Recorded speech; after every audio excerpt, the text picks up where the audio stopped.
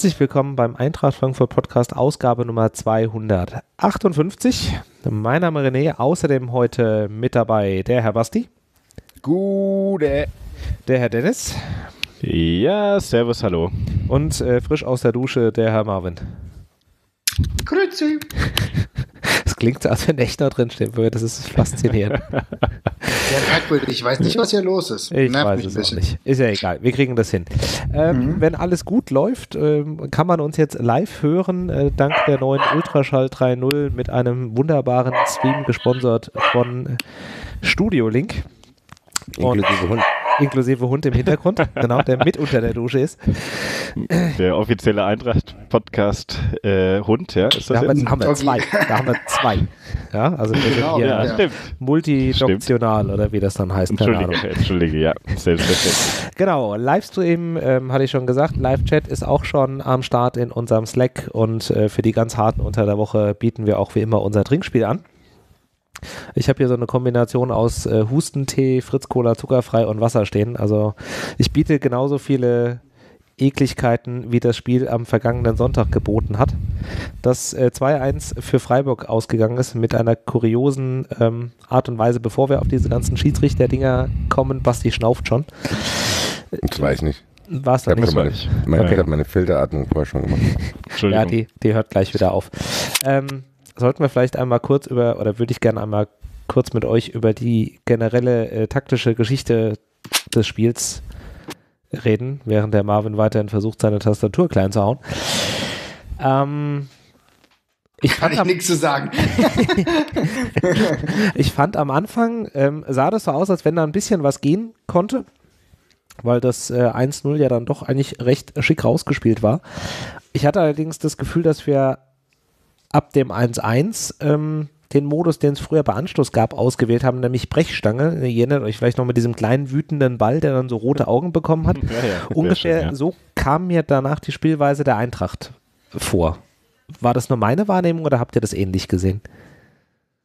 Ich warte das noch mit meiner Ausführung. Ich muss mich Ging, noch weiter ging nicht mehr beruhigen. viel, ja, du hast völlig recht. Das war irgendwie, haben sie es versucht dann zu erzwingen, aber wirklich, wirklich was zusammengelaufen ist da nicht mehr, ja. Ja, aber.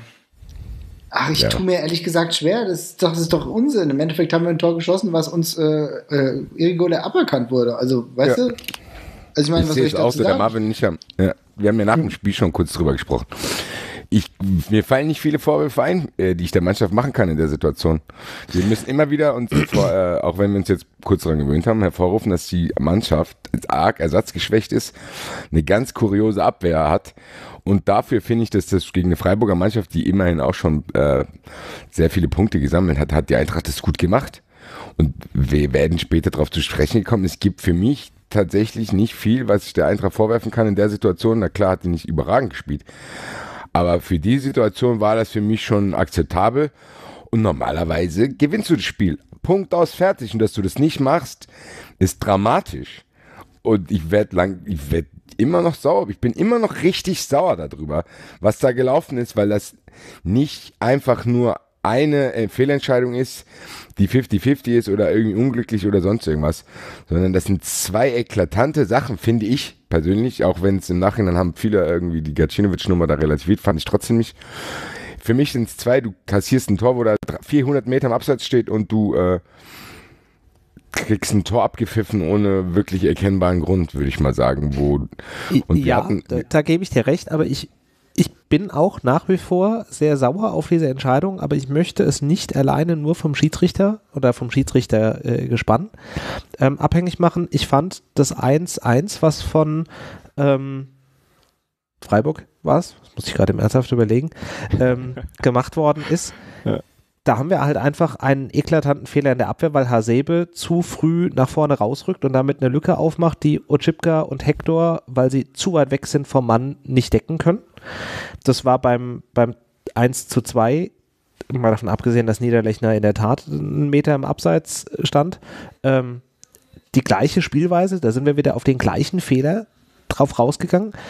Und unabhängig davon, ob er jetzt im Abseits stand oder nicht, haben sie uns mit einfachsten Mitteln in zwei einfachen Situationen da einfach ähm, ausgekontert. Ja, wir sind ersatzgeschwächt, aber das sind unterm Strich auch alles Menschen, die Fußball spielen, die alle Abwehr spielen. Und da finde ich, dürfen so Fehler gegen einen Gegner wie Freiburg nicht passieren. Finde ich gar nicht. Ich finde, dass du gegen Freiburg mit der Abwehr hast du eigentlich fast gar nicht zugelassen. Die Eintracht, ich erinnere mich an keine einzige Freiburger Chance ja. sonst. Also ja, und, stimmt. Und Chipka ist kein gelernter Innenverteidiger und äh, ich stelle jetzt mal die These auf, Hector auch nicht. Ähm, Ich würde die These aufstellen und sagen, dass Hector nicht mal gelernter Fußballspieler per Definition ist, aber so, also, dann überleg halt, mit wem wir dort spielen. Ja, Ja, das das, ist doch Da- genau der Punkt. passt- ja, man muss doch mal die Kirche im Dorf lassen. Wir haben hier echt eine ganz schön zusammengewürfelte Truppe gerade. Ja, und wir kämpfen mit, wir kämpfen mit wirklichen Problemen, die wir haben, weil entweder viele Leute verletzt sind, wir haben einige Abgänge, äh, die wir nicht äh, kompensieren konnten. Es ist momentan, es beklebt bei uns die Scheiße am Schuh. Normalerweise würde Hector der Nicht würde, spielen, weiß. Gott nicht spielen. Äh, Otschipka wird nie in der Innenverteidigung ran müssen.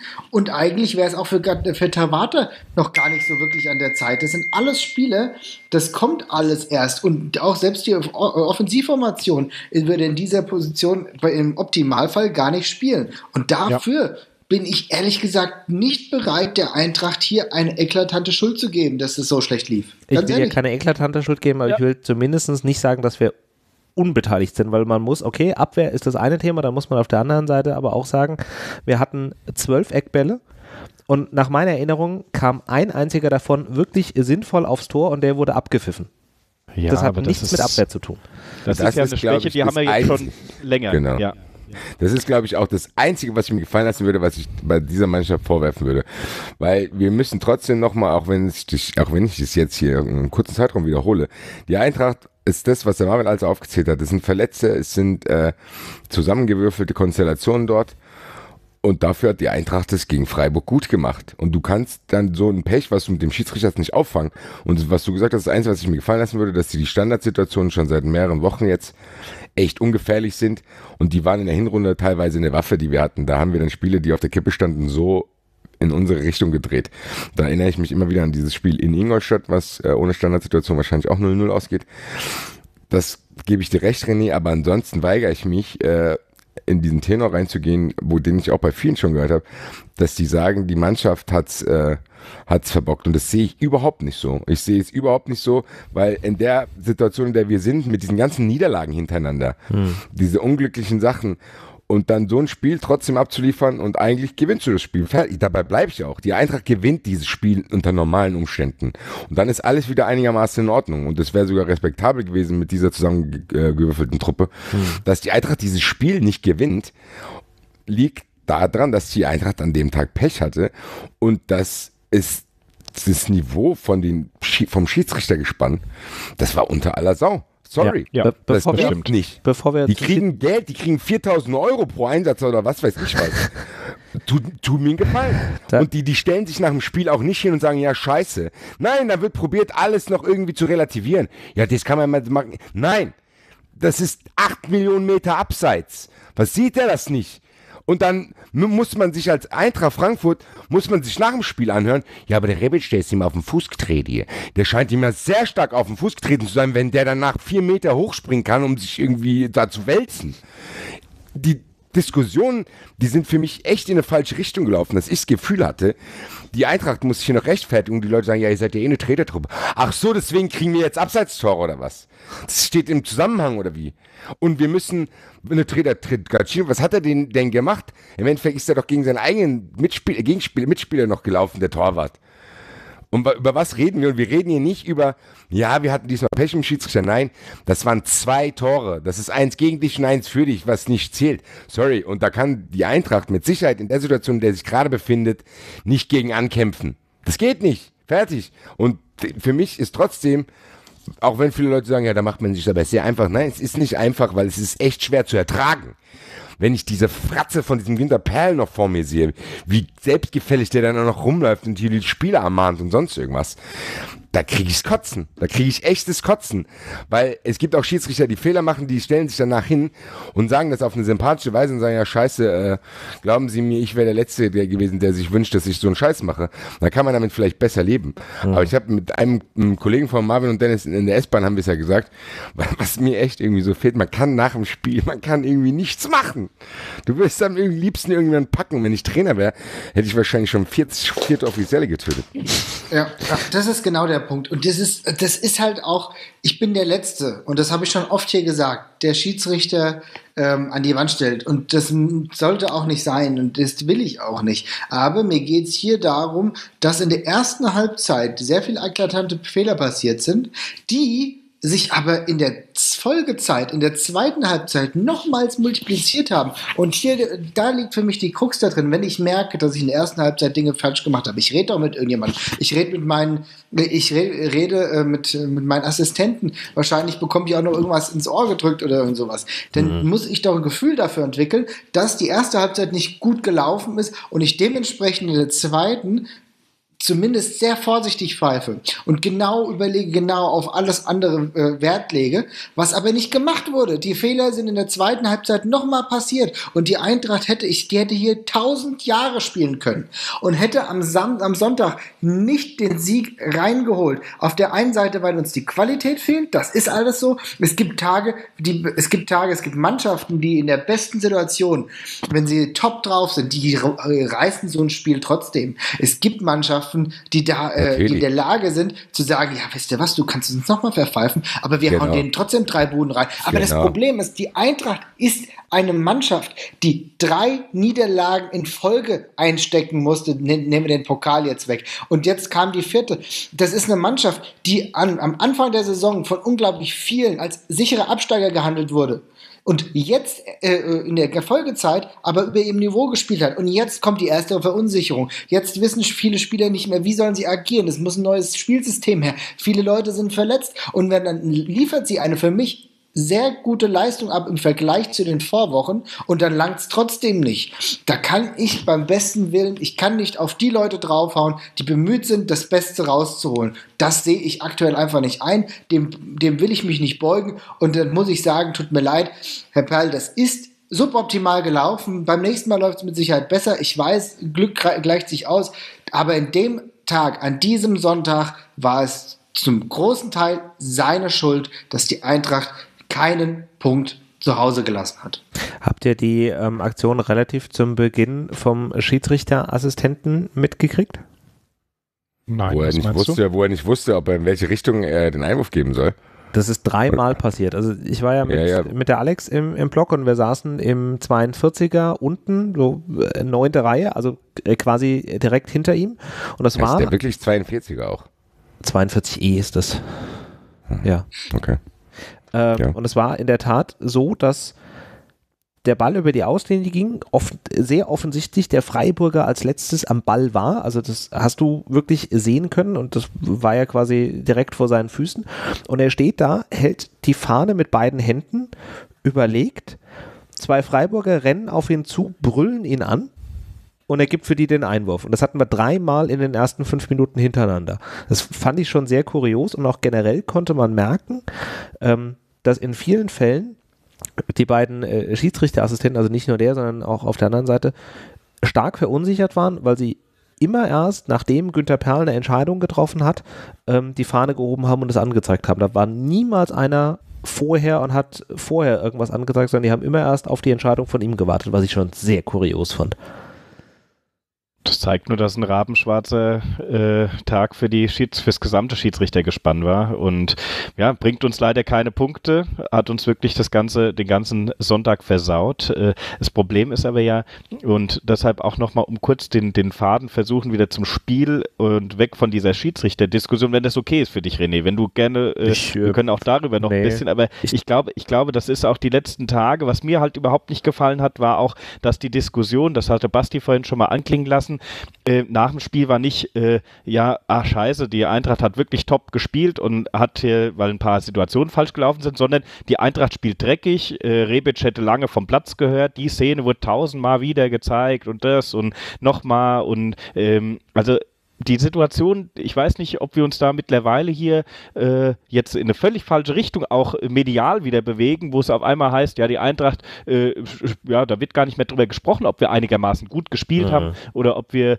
äh, aus denen, dass wir trotz Verletzungen noch ein ordentliches Spiel abgeliefert haben, sondern es ist nur noch, wir sind Treter, äh, ja, wir hatten vielleicht ein bisschen Pech mit dem Schiedsrichter, aber wir sollen sich mal nicht so anstellen, die hatten auch oft genug jetzt Glück.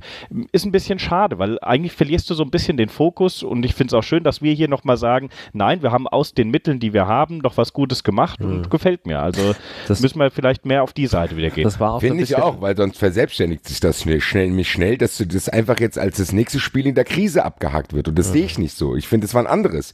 Das war eine andere Einstellung Einstellung, das war eine andere Organisation und die Eintracht hat wenige Chancen zugelassen. Wenn jemand anderthalb Meter am Abseits steht, dann kannst du nichts machen. Und mhm. dann kassiert die Eintracht nur ein Tor und macht zwei. Dann gewinnst du zwei gegen Freiburg und das wäre für unsere Situation überragend. Wir wären weiter da drin, wir hätten mit ganz ruhig nach München fahren können wir haben in dieser, in dieser Situation, können wir uns dieses Pech, was wir jetzt hatten, können wir uns leider nicht erlauben. Und ich finde gut, was der Dennis sagt, weil du hast es nämlich gemerkt, bei Sky hatten die die Szenen gar nicht aufbereitet, weil als Kovac im Interview war bei Sky und sich zu Recht auch aufgeregt hat, haben die dem dreimal die Szene von Rebic gezeigt und er fragt, ja Leute, habt ihr das gezeigt, habt ihr das gezeigt? Und es gab auch noch eine Szene, wo wir eventuell einen Elfmeter hätten kriegen können und sonst irgendwas. Das hatte Sky alles gar nicht parat und Kovac sagt zu ihm, ja können Sie mir das zeigen aus der äh, 78. Minute, können Sie mir das zeigen? Nein, nein, nein, äh, äh, äh, äh, äh. äh. Da siehst du schon, dass nach dem Spiel probiert wird, in, das in die und die Richtung zu lenken. Und ich habe bis jetzt immer noch nichts gehört von irgendeinem Schiedsrichter Johnny und die äußern sich ja auch zu jeder Pisse. Gagelmann hier, merkt da und du kannst dich nach dem Spiel auch äußern. Nichts habe ich gehört, dass die Eintracht hier ganz, ganz, ganz klar verpfiffen wurde. Und Dennis meint, das wird so abgetan, so ja, ein bisschen Pech hatten sie mit dem Schiedsrichter, aber das war mit Sicherheit nicht spielentscheidend. Doch, und das will ich klar festhalten. Und da muss man auch, da muss man sich auch nicht zurückhalten in dem Sinne zu sagen, ja, das gleicht sich ja aus und ihr habt auch Glück gehabt. Nein, die Eintracht hat an dem Tag das Maximum rausgeholt, was drin war, aufgrund dieser mangelnden Organisation und dem ganzen Kram, der hier drumherum passiert, und wurde beschissen. Fertig. Ich sag ja nicht mehr, ich stelle mich ja nicht hin und sage, das war mutwillig, der DFB, der will die Eintracht nicht im Europacup, bla bla bla, so Aluhutmäßig brauchen wir uns ja nicht aufsetzen. Nein, da hat es mit Sicherheit nicht extra gemacht, das hilft mir auch nicht. Sag ich, hey, das habe ich nicht extra gemacht. Ich habe dir die Zähne gebrochen, gell? Das habe ich nicht extra gemacht. Ich sage, dann ist ja kein Problem, dann tut es nicht weh. Also, eine, eine Aussage, die mir ähm, aus dem Interview mit Kovac nach dem Spiel noch im Gedächtnis geblieben ist, war ja auch, dass er sagte, wir haben jetzt dieses Image und es macht auf ihn den Anschein, dass zum einen eben nicht nur die Medien über nichts anderes mehr äh, berichten, sondern dass das auch so ein bisschen Auswirkungen auf die Entscheidungen der Unparteiischen hat, also nach dem Motto, naja, die Eintracht hat ja jetzt schon 70 gelbe Karten und dann wird das schon irgendwie ein Foul gewesen sein und ich gebe jetzt, pfeift das jetzt vorsorglich auch mal ab ja, aber weißt wenn du das, da wenn du das sein, machst, ja. ja. aber wenn du das machst, dann brauchst du auch kein Schiedsrichter sein. So nach, äh, nach Tendenz zu entscheiden, wie das irgendwie so sein könnte. Ja, was ist denn hier los? Das, was, was soll das denn? Ich meine, der muss die Tatsachen entscheiden und der muss Dinge sehen. Oder er sieht sie nicht und dann pfeift er sie nicht. Die ganz, also wenn du, wenn du diesen Tag durchgehst, wenn du diesen Spieltag durchgehst, äh, bei der Eintracht, dann siehst du, dass er unglaublich viel Mist gepfiffen hat. Und da gibt's halt nichts da gibt's einfach nichts. Und dann tut's mir halt auch leid. Da gibt's nicht, oh ja, aber die Eintracht ist eine raue Mannschaft. Du musst das pfeifen, was du siehst. Und wenn du es nicht siehst, dann pfeifst du es nicht. Und mhm. wenn es dann ein Punkt aus die Maus. Also ich weiß gar nicht. Und ich finde auch diese ganze Scheißdrecksdiskussion geht mir auch mega auf die Nüsse von wegen, dass die Eintracht die ganze Zeit so brutal spielt. Natürlich haben wir einen raueren Stil, aber viele andere haben auch einen rauen Stil. Das sind auch alles nicht nur Gänseblümchen, die da in der Bundesliga rumwuseln. Ja, das sind auch harte Fußballer und dass die Eintracht vielleicht nur diese Möglichkeit gesehen hat, irgendwie erstmal äh, einen Fuß in die Tür zu bekommen. Ja, tut mir leid, aber, aber dafür gibt es ja dann auch ein System. Wenn es ein Foul war, war es ein Foul, rote Karte, aber, aber so auf Verdacht zu entscheiden. Nee, nee, ich bin, ich bin einfach, ich bin echt immens sauer und ich habe auch echt keine Lust, dass, äh, dass diese, dieser Fokus genau darauf geht, denn der Fokus muss darauf gehen, dass die Mannschaft ein ordentliches Spiel gemacht hat und dass sie jetzt in Ruhe weiter fokussiert arbeiten muss, um an ihrem Spielsystem zu feilen, um trotz der vielen Verletzten, um äh, mit den, sage ich mal, Rekonvaleszenten, die langsam kommen, wieder zu einer Einheit zu werden und die nächsten Spiele nach Bayern, nach Bayern München einigermaßen erfolgreich zu gestalten. Das muss der Fokus sein und ich will auch nicht, dass es hier in eine Negativspirale geht. Das kann nicht der Ansatz sein. Finde so ich auch. Das aus. ist wichtig festzuhalten. Das gehört nicht zu diesen Spielen, die die Eintracht irgendwie so ein bisschen verbaselt hat, sondern das war eigentlich, eigentlich wäre das das Spiel gewesen, was einen Aufwärtstrend einleiten hätte können. Wenn nicht die angesprochenen Sachen passiert werden. Das ist mir wichtig, das festzuhalten, weil ich sehe es nicht so, als äh, dass man es so abtun könnte, das ist jetzt halt mal passiert und man habt ja auch mal Pech gehabt. Nee, das ist eine eklatant heftige Fehlentscheidung waren. Das Punkt. Kann mir jetzt nicht ändern, aber ich will es trotzdem festgehalten haben und in der Diskussion berücksichtigt, wenn es jetzt hier heißt, die Eintracht ist in der Krise und so ein Scheiß. Naja, also Bezüglich der Spielhärte, ganz kurz nochmal, mhm. ähm, die hattet ja vorhin das äh, Kovac-Interview auch angesprochen. Kovac hatte ja da äh, medial zumindest äh, verkündet, er hat seinen Spielern äh, dazu geraten, weniger hart zu spielen, äh, Zweikämpfe sozusagen zu meiden oder, oder äh, mit Feenhandschuhen sozusagen anzufassen. Nur das ja nicht irgendwie, ja, ja, nee, also es ist ja, ist im Endeffekt der sagt das natürlich medial extrem hart und so kann es ja auch nicht laufen. Du musst ja die Zweikämpfe äh, gehen. Aber kann das auch ein Grund sein für, für nachfolgende Spiele jetzt, um dieses Image wieder wegzubekommen? Seid ihr dafür zu sagen, wirklich versucht ein bisschen euren Spielstil zu ändern oder sagt ihr, ähm, solange es im Grenzen bleibt und es ist im legalen Bereich, äh, irgendwann werden die Schiedsrichter sich schon auch dran gewöhnen und werden sehen, dass die Szenen nicht härter waren als bei anderen Schiedsrichtern äh, oder bei anderen Vereinen besser gesagt und äh, werden es dann nicht mehr pfeifen oder nicht mehr so komisch pfeifen wie momentan. Wie seht ihr das denn? Weil ich sehe es ein bisschen problematisch zu sagen, spielt nicht mehr so hart, äh, denn nee. es ist ja im das Endeffekt sehr ja nicht überhärtet. Kannst. Also kommen wir denn da auch hin? Da Marvin hat es auch vorhin angesprochen, wo kommen wir denn da hin, wenn ja. wir jetzt überlegen müssen, was die Schiedsrichter Schiedsrichter über uns denken. Also es gibt Regeln, da kann man sich dran halten, wenn die Eintracht einen Foul begeht, dann gibt es gelbe Karte. So. Aber wir können doch nicht jetzt überlegen, ja, ich kriege jetzt wahrscheinlich eine gelbe Karte als der Gegner, weil ich vorher schon irgendwie, also das sollte man komplett aus der äh, Diskussion lassen, finde ich. Das ist das Schlechteste, was du machen kannst. Denn du hast, du hast ja, ich meine ganz ehrlich, was, ich meine, wir müssen uns aber auch mal Gedanken machen, worüber wir gerade sprechen. Dein Spielstil, hier ganz ehrlich, der Hector, der kann nicht anders, außer diese Körperlichkeit an den Tag legen. Es gibt auch ja, gewisse Limitationen. Und dann können wir nicht sagen, ja gut, du spielst so schön, äh, hier spielst du wie ein, äh, wie ein Tausendfüßler. Nee, es geht halt einfach nicht. Manche Leute haben es einfach nicht in dieser, in dieser, in dieser, äh, in diesem Maße drauf. Das, das können auch hochklassige Spieler sein, die trotzdem de dementsprechende Präferenz haben. Und es wäre das Allerfalscheste, wenn wir jetzt sagen, wir spielen nur so, wie sie uns haben wollen, denn dann ver verlierst du ein bisschen Bissigkeit, dann verlierst du auch diese Robustheit. Die Eintracht muss ganz im Gegenteil weiter daran setzen, früh den Gegner zu attackieren und wieder ein unbequemerer Gegner zu werden. Das, das ist das, wo wir hin wir zurück müssen. Genau. Und dann dürfen wir uns überhaupt nicht von den Medien, äh, von dem Medienecho irgendwie blenden lassen oder beziehungsweise äh, äh, in eine Richtung drängen lassen. Das wäre falsch. Die Eintracht muss ihren Weg finden, selbstbestimmt, nicht durch äußere das ist, das ist, der eine Punkt. Ähm, was ich anmerken wollte, was äh, der geschätzte Bierernst gerade im Chat auch schreibt, ist, dass ein gewisser Anteil der Karten natürlich auch nicht durch Fouls entstanden ist, sondern durch diese vielen Meckereien, die wir da auch auf dem Platz haben und durch so, ja. so das Dicklichkeit. Ist ein sehr guter Punkt. Ja, mhm. also das ist ja auch, wenn du die mal abziehst, dann ist das das eine.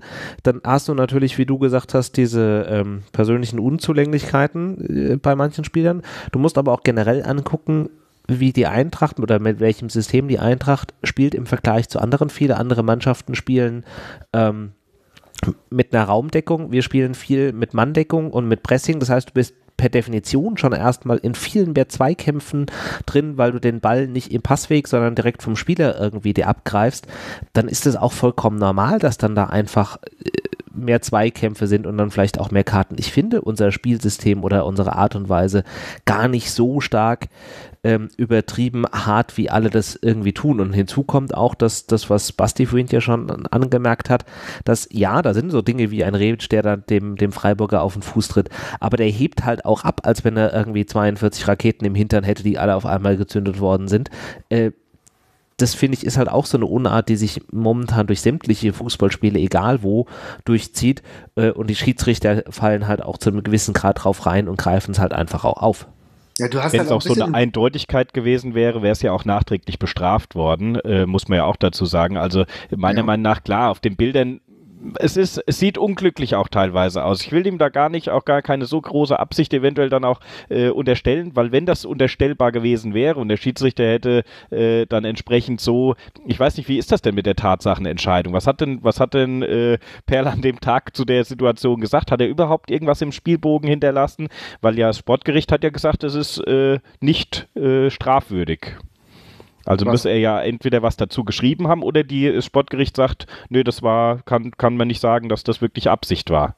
Ja, es ist was, ja auf jeden Fall nicht, es wurde ja also auf jeden Fall nicht noch nachträglich äh, genau, penalisiert. also also genau. gibt es doch, brauchen wir gar nicht drüber reden. Also ich meine, weißt du, ich meine, das ist jetzt das ist jetzt final. Es wird nicht penalisiert, es gibt keine weitere Diskussionsgrundlage, hier darüber zu reden. Für mich ist die Sache jetzt auch gegessen. Und natürlich ist es so, dass Rebic sehr, sowieso ein sehr robuster Spieler ist, der auch nicht umsonst so viele Karten auf seinem Konten, auf sein, so ein großes Kartenkontingent hat. Das ist natürlich ein Spieler, der äh, eine raue, aber, äh, aber gleichzeitig auch ein vitaler Faktor in diesem Spiel ist. Ne? Mhm. Also er ist ja nicht das nur, er ist halt, er ist halt äh, vom Typ her ein, ein, ein spritziges Kerlchen mit einem Hang zur robusten Spielweise. So, kann, so kannst du es sagen. Und äh, andererseits tut er der Mannschaft ja trotzdem auch gut, wenn ich mhm. das sehe.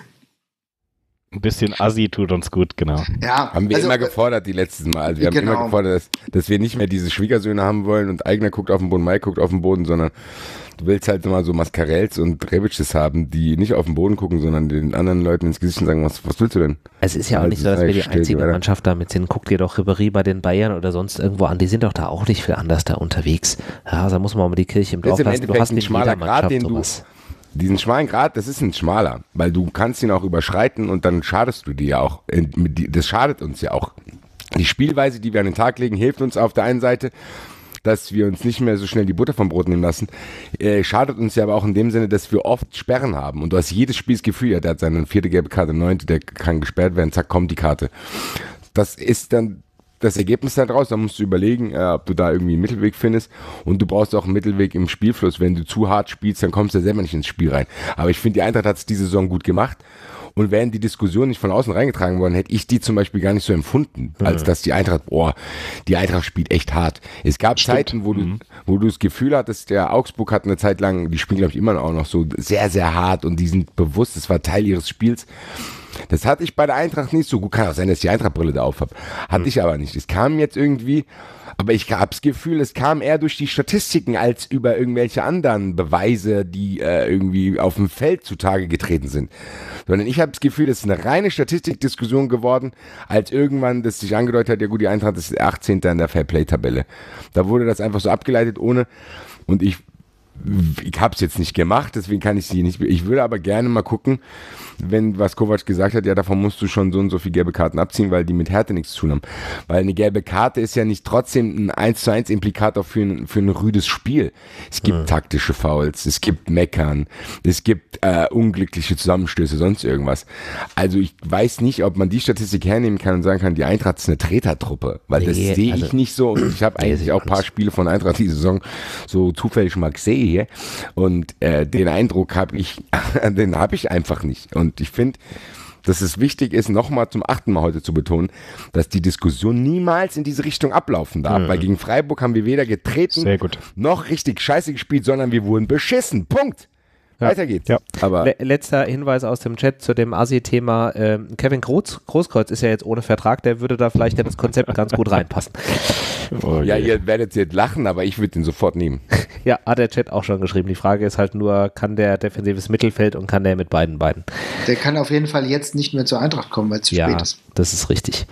Ähm, äh, zwei Aktionen hatten wir am Spiel, im Spiel noch ganz am Ende. Einmal den äh, Freistoß geschossen von Regota, der ganz knapp vorbei war und dann diese aus meiner Sicht eigentlich 200-prozentige Chance von äh, dem Fußballgott, der nach fünf Ballkontakten das Ding irgendwie da nicht über die Linie drückt das war dann auch irgendwie so ein bisschen äh, die Kirsche auf der Sahne am Ende. In der Hinrunde wäre auf jeden Fall reingegangen, ja. ja, das war das halt sehr ärgerlich. Dann äh, immerhin, ich muss ja sagen, auch ja, tut mir leid, dass ich jetzt nicht in die negative Meinungsmaschinerie mit einstimme, aber ich muss halt sagen, insofern fand ich es noch gut, dass die Eintracht wenigstens noch mal eine Drangphase hatte, dass sie es probiert hat, noch mal das Ding zu erzwingen, aber es hat halt leider nicht geklappt, denn zuletzt in der letzten, allerletzten Minute in anderen Situationen machst du dann wenigstens noch den Ausgleich. Und dann hätte das Stadion auch wieder gebebt und da wäre wieder Feuer drin gewesen, auch wenn selbst ein Punkt gegen Freiburg eigentlich zu wenig gewesen wäre. Aber es ist halt, es ist halt so, du musst dir richtig hart wieder alles erarbeiten. Ja. Zurück auf die Grundlagen, zurück zu einem geschlossenen Spielkonzept aus der Defensive heraus, wackelig oder nicht. Und das ist halt, das ist halt eine sehr, sehr schwierige Situation. Und wir sind jetzt genau ein Jahr mit Kovac unterwegs. Und äh, wenn wir überlegen trotzdem, wo wir jetzt gelandet sind in diesem einen Jahr, dann muss ich sagen, das ist herausragend. Dass wir Ja. jetzt unser erstes großes Tief haben, das ne, gebe ich der Mannschaft, gerade in dieser Konstellation. Und wir müssen einfach weitersehen. Und das habe ich auch das Gefühl. Ich habe eigentlich, also bin aus dem Stadion rausgegangen, da waren die Fans waren traurig, aber trotzdem war das nicht, dass jetzt irgendwie, ah, ihr Wichser, ihr verspielt gerade Europa, Ja. sondern nach dem Motto, ja, Ja. Leute, es ist halt einfach so. Ja. Genau. Ja. Und das hat, das, genau das habe ich ja auch noch hier auf meinem Zettel stehen. Das kannst du überhaupt nicht vergleichen mit Spielen aus Fee- oder Schafsaisons, wo du das Gefühl hast, die Mannschaft vertrottelt das gerade. Also das, ich finde trotzdem, was der Marvin sagt, ist auch ganz, ganz wichtig, weil es ja auch trotzdem für die Zukunft jetzt eine Rolle spielt, wie man sowas sieht. Kovac hat hier bei uns sich einen Riesenkredit aufgebaut, zu Recht hat er den. Und die Mannschaft jetzt auch noch dass du so Spiele wie ein paar schludrige Spiele, Leipzig, Leverkusen, so ein bisschen blöd, alles, dann äh, stellst du dich gegen Ingolstadt ein bisschen dumm an und hast jetzt Pech. Aber die, ich glaube, du sie kannst an den Eintracht-Fans trotzdem immer gut ablesen, wie die Einstellung von der Mannschaft auch ist. Ob eine Mannschaft sich irgendwie äh, vertrottelt hingibt, dem, was sie passiert, was wir oft erlebt haben, da nehme ich immer mein Lieblingsbeispiel, als wir alle zusammen in Köln waren, so ein Spiel, wo ich das Gefühl hast, die ergeben sich einfach. Ja, wo, wir genau. jetzt nicht, wo wir jetzt nicht nach dem Spiel sagen, oh, die hatten aber Pech und der Arme und hier, sondern nee, du siehst seine Körpersprache, du siehst es an Reaktion nach dem Spiel und alles. Da bin ich auch noch positiv gestimmt. Schade ist es trotzdem ein bisschen. Es ist schade ein bisschen, dass man das Gefühl hat, in, den Letz in diesem Monat, jetzt in den letzten 30 Tagen, ist die Saison so ein bisschen in die Grütze gegangen. Mit eigenem Zutun, mit bisschen Pech und mit allem. Dieser, dieser Hashtag X ist uns jetzt komplett um die Ohren geflogen. In der Hinrunde hat noch viel geklappt. Es ist ein bisschen schade, aber trotzdem dürfen wir nicht vergessen, die Stimmung ist gut. Wir sind im Pokal-Halbfinale und wir sind immer noch in der Verlosung um die Europapokalplätze. Klar müssen wir uns jetzt neu sortieren und das, wahrscheinlich schaffen wir es auch nicht. Trotzdem, meine Güte, also ich habe lieber irgendwie die zehnprozentige Hoffnung, irgendwie in der Europa League noch zu spielen, als zu überlegen, ja scheiße, wo kriege ich jetzt Relegationskarten her? Genau. Ja. Ähm, wenn wir schon gerade bei dem Thema äh, dämlich sind, ähm, Marc Stendera in der Halbzeitpause. Was hat er gesagt? Wir sind hier nicht beim Frauenfußball. Wir sind hier nicht beim Frauenfußball, das Der ist immer noch. Männerfußball, den wir spielen, genau. Klassischer, klassischer Rudi Völler-Spruch, würde ich es jetzt mal nennen. Eigentlich ja. Und äh, aber was ich sagen muss, hat mir auch überhaupt nicht gefallen, weil es so dieses typische, äh, das ist so ein Spruch, der auch von Neururer oder so kommen könnte. Der könnte jetzt hier original im Sport 1 Fan Suft Talk da sein. Passt mir nicht, aber ich finde gut, wie die Eintracht reagiert hat, ehrlich gesagt. Das Video, was die heute gepostet haben. Genau, dass ja, du ich das weiß nicht, ob ihr das, ob ihr das alle schon äh, gesehen habt. Äh, Marc. Stendera wurde heute, ähm, um sich äh, mit dem Thema Frauenfußball mal auseinanderzusetzen, zur äh, U17 Frauenmannschaft äh, zum Training eingeladen und musste sich da wilden Buhrufen stellen und als äh, Bestrafung musste er ins Tor und äh, die äh, 17 Spielerinnen durften mit dem Ball äh, auf sein Hinterteil schießen. Voll spannend. Ah, Arscherbolzen wie früher beim Hochball. Genau. Das fand Finde ich auch. gut, weil da kann man nämlich so aus so einer Sache auch die Skandalisierung rausnehmen und äh, trotzdem zeigen, dass man es nicht in Ordnung gefunden hat. Und Ja. Ich finde, da hat die Eintracht einen sehr guten Weg gefunden, muss man an der Stelle auch mal loben. Ja, absolut. Also das muss ich auch Sehr sagen. gut. Herausragend. Das muss man wirklich, das kann man gar nicht oft äh, genug erwähnen, wie souverän mit so einer Situation umgegangen wurde. Herausragend. Das muss man ganz klar sagen, finde ich absolut stark und setzt das richtige Zeichen zur richtigen Zeit. Ja. Blick nach vorne. Das Spiel ist rum. Wir können da jetzt nichts mehr dran tun. Und jetzt geht's nach München am kommenden Samstag, 15.30 Uhr. Und ich habe jetzt die Frage an euch: Machen wir die Eintracht aus der Hinrunde und äh, ergaunern uns ein Unentschieden oder machen wir den HSV und wird knapp zweistellig? ist wie so oft im Also Leben. Ich glaub, zweiteres die glaube Wahrheit ich liegt in der. Mitte. Ja. Genau, genau, genau. Ja. Puh, also, also ehrlich gesagt, ähm, ja, was erwarte ich? Weil ich erwarte erstens mal gar nichts. Ähm, und ich weiß nicht, ich, es ist schwer, schwer zu sagen. Ich habe das Spiel komplett gedanklich schon abgeschenkt. Das Ja. ist halt dummerweise genau Ja. so. Das ist so wie spielfrei, wie Ja, Länderspielpause an, eigentlich. andererseits, hey, weiß nicht, keine Ahnung. Ich meine, was, was sollen wir machen? Ja, natürlich kannst du jetzt mit Mann und Maus dagegen stehen und kannst jetzt alles versuchen, jetzt äh, alles in Hashtag alles rauszuhauen oder so. Ja. Aber Leute, ähm, die, die wichtigen Spiele kommen leider wirklich wann anders. Vielleicht sollten wir es dazu nutzen, ähm, Spieler einzuführen, wieder an das Spiel heranzuführen. In der 45. Minute bringe ich äh, äh, ja, bringe ich Russ, um ihn, äh, ihm mehr Spielpraxis zu geben, solche Sachen in einer einigermaßen ja, also das ist das Einzige, was ich, ich habe ich hab da überhaupt keine Hoffnung. Also ich weiß gar nicht, ich weiß noch gar nicht genau, wie wir hier überhaupt vonstatten gehen sollen. Ich weiß nur, dass die Eintracht da nichts holen wird. Hm. Ja, habe ich auch. Also. Ja, sehe ich ähnlich. Also ich denke auch, es ich denke mal, dass die Abwehr leider immer noch äh, relativ dezimiert sein wird. Ich glaube, Ochipka ist ja auch gesperrt. Genau, äh, zehnte gelbe Karte. Ähm, Innenverteidigung, Abraham darf dann, glaube ich, wieder. Korrekt. Äh, Vallejo ist, glaube ich, noch in Behandlung, also fällt auf jeden Fall noch aus. Ja, wird schwierig auf jeden Fall. Also ich denke, du wirst einige Buden hinten fangen. Und ich hoffe, dass wir frühzeitig dann ein bisschen defensiver stellen und nicht versuchen, äh, noch wunderbaren Fußball nach vorne mitzuspielen, dass die äh, Tor, das Torverhältnis auch noch voll vor die Hunde geht.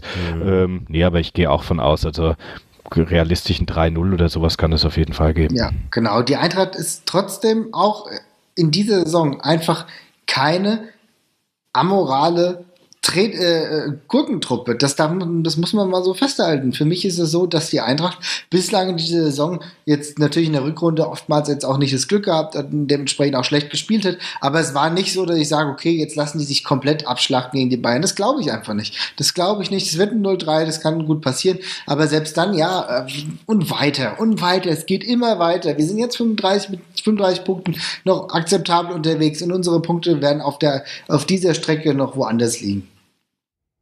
Hm. Wie siehst du das denn, René? Was meinst du denn? Also ich denke auch, dass wir das, äh, also äh, wenn wir das Ding gewinnen sollten, dann wäre das schon ein, ein extrem glücklicher Zufall. Ja, also da muss, muss viel passieren. Ähm, für mich tendenziell auch das Maximale, was geht, ist irgendwie ein Unentschieden. Ähm, und ich finde auch, das sollten wir uns da rausholen, weil mit Blick auf das Torverhältnis wäre das schon für mich ein ganz wichtiger Punkt, weil das am Ende dann doch noch so ein bisschen ähm, was entscheiden kann. Und ich glaube, es würde auch von der, von der Stimmung her für die Mannschaft extrem gut sein, wenn wir es in der Tat schaffen, da sogar irgendwie mit einem Punkt nach Hause zu gehen um einfach den ganzen Mist, der in den vergangenen Spielen war, da so ein bisschen zu vergessen. Aber wahrscheinlich ist realistisch, dass wir irgendwie mit einem, entweder mit einem knappen 2-1 oder mit einem ähm, 3-1 da verlieren. Aber bevor wir zu den Tipps kommen, mhm. vielleicht mal Aufstellung. Ähm, Otschipka fällt, wie gesagt, mit Gelbsperre aus. Abraham ähm, äh, kommt zurück. Ich hatte gerade eben versehentlich gesagt, dass äh, Chipka die zehnte gelbe Karte ist. Das ist, glaube ich, erst die fünfte. Da habe ich mich vertan. Ähm, Vallejo kommt, wenn überhaupt, erst gegen, Abra, äh, gegen Abraham, gegen den HSV wieder. Mhm. Ja.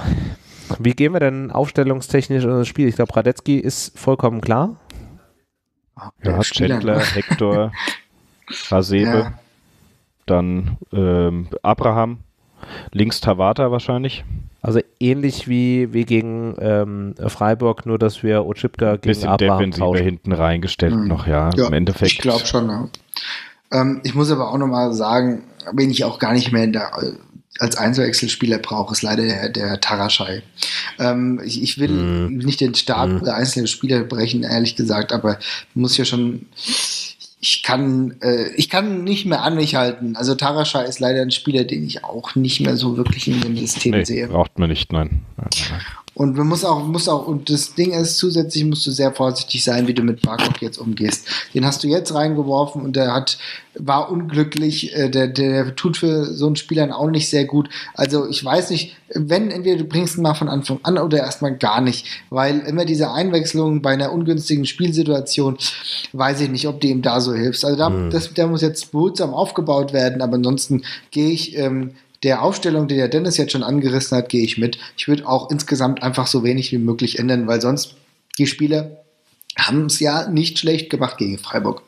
Aber Meier vorne drin von Anfang an, oder? Also bei so einem Spiel gegen Bayern ist das doch normalerweise was, äh, wo du so einen Meier, da kannst du den immer gut gebrauchen. Äh, wenn du relativ defensiv spielst, vorne mal einen rumstreunenden Meier, der eventuell irgendein Gurkending reinmacht. Also ich also denke, Meier, da könnte Meier überzeugt mich in den letzten Spielen jetzt auch so gar nicht. Ich ja, meine, der ist auch viel eingewechselt worden, aber na. klar, der hat, der hat da die Chance noch gehabt, aber normalerweise ist sowas überhaupt nicht ein Meier sein Spiel. Und gerade gegen die Bayern, wenn du sehr defensiv spielst und äh, vielleicht mit langen Bällen teilweise arbeitest, dann glücklich mal einer fällt, ja, dann ist Meier normalerweise immer für ein Tor gut. Also ich würde Meier normalerweise gerne sehen bei dem Spiel. Das ist so ein typisches Spiel, wo ich sage, ja, da, da gefällt mir ein Meier. Hm.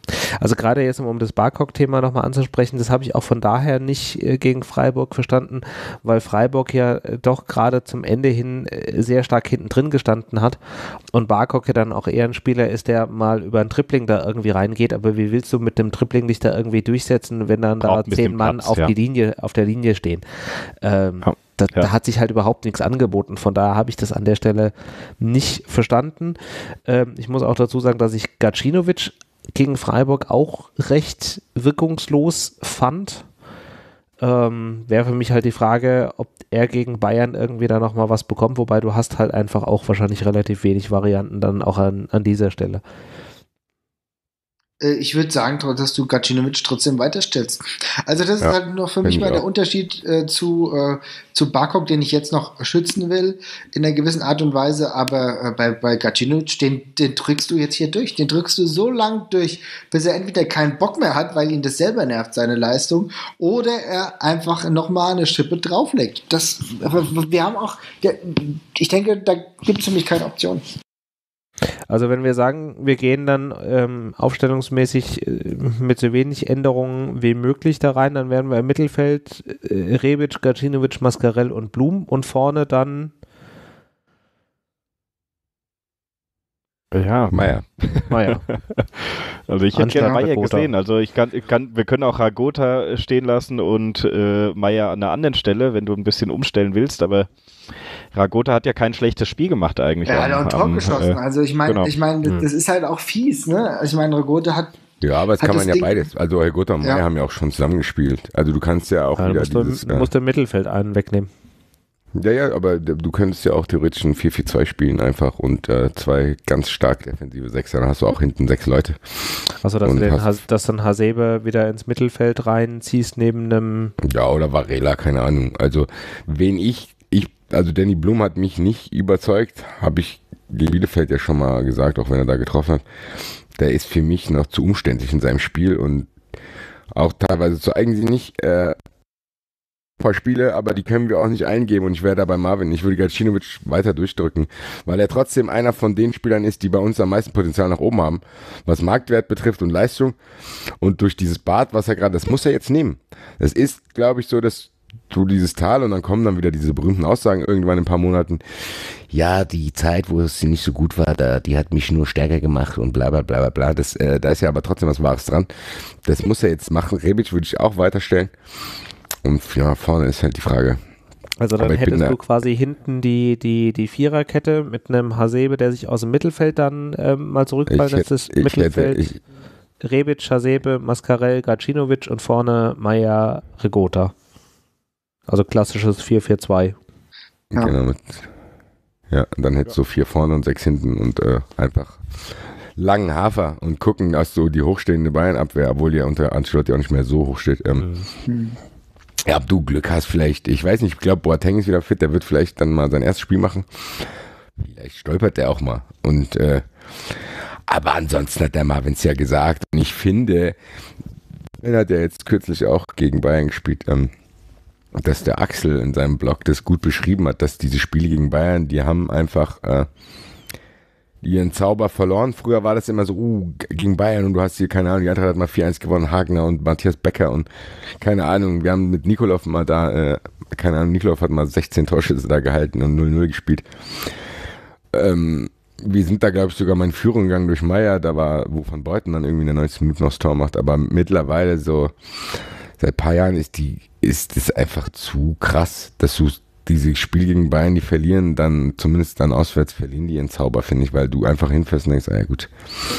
Hm. Zu Hause ist es ja immer noch mal was Besonderes, aber genau. auswärts genau. sehe ich es genauso.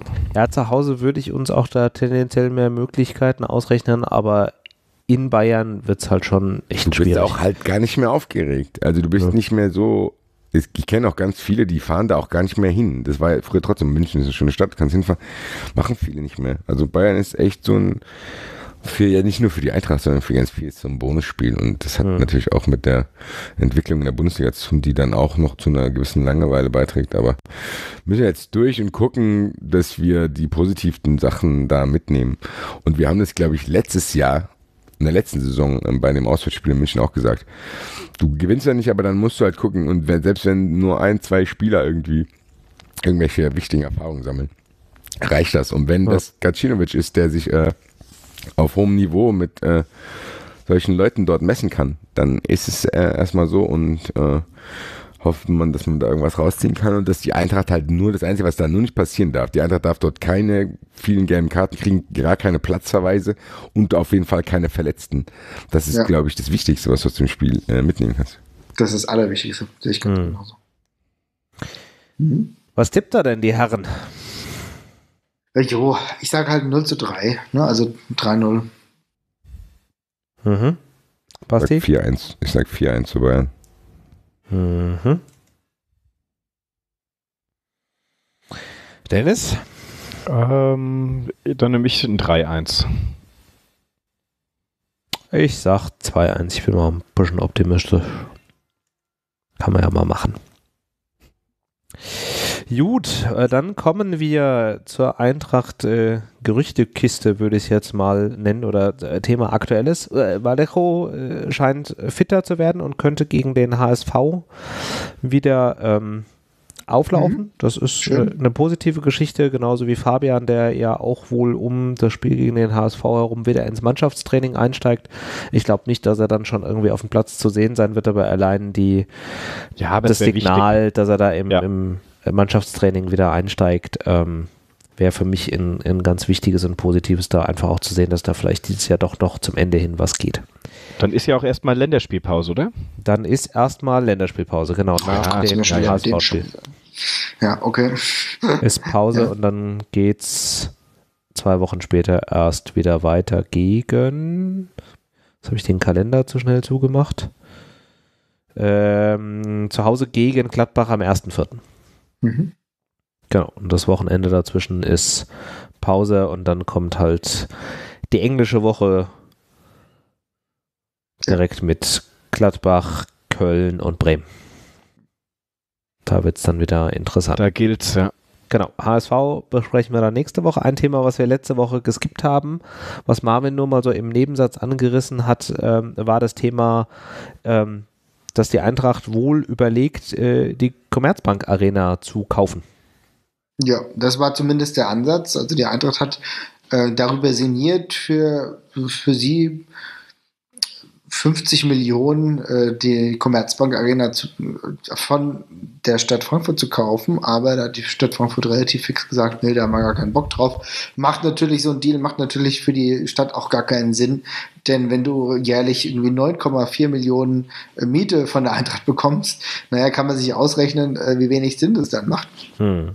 Ja, klar. Und äh, gut, aber die 50 Millionen waren halt der Wert, der geschätzt wurde von irgendeinem Konsortium, weil ich weiß es jetzt nicht kann näher, welches das war, äh, dass das Wert des Stadions ist, diese 50 Millionen. Jetzt haben wir letztens, haben wir schon immer intern besprochen, Basti und Dennis, ähm, also realistisch ist es wahrscheinlich eher nicht mit 50 Millionen, sondern da müsste es schon ein bisschen höher schätzen. Müsste ein bisschen Aber mehr sein, ja. Aber auch Mhm. da zeigt die Stadt ja keine Handlungsbereitschaft. Andererseits ist es so, du müsstest auch überlegen, da muss ja trotzdem einiges im Stadion äh, gemacht werden. Das Stadion ist jetzt auch Ja, schon ja. elf Jahre alt. Also die sind ja nicht, die sind nicht super toll in Form. Hm. Die Frage ist halt, äh, oder beziehungsweise ich will anders anfangen, den Ansatz der Eintracht zu sagen, wir wollen Herr über ein Stadion sein, wir wollen lieber einmal eine große Summe vorstrecken und dann ähm, mit dem Lauf nicht mehr immer Miete zahlen zu müssen, sondern selber zu entscheiden, wer kommt zu uns ins Stadion, wer tritt bei uns auf, finde ich keinen schlechten Ansatz. Wenn die Eintracht in der Lage ist, sich das finanziell zu leisten, ist es ein gangbarer Weg. Und die Eintracht äh, und auch die Stadt wird zweimal überlegen müssen, ob sie das nicht wirklich eingeht, denn äh, wenn die Eintracht aus irgendeinem Grund harte, äh, ein harter Hund wird und dann plötzlich sagt, okay, dann machen wir uns ein eigenes Stadion, dann steht die Stadt nämlich auch scheiße da. Ja, klar. Das wäre jetzt, das wäre mein Ein- Einwand jetzt gewesen, zu Ja. sagen, äh, da muss die Eintracht auch mal genau das, was Mascarell und Rebic auf dem Platz machen, auch mal außerhalb des Platzes machen. und sagen, ja, wisst ihr was, ja, ja, viel Spaß mit dem Ding.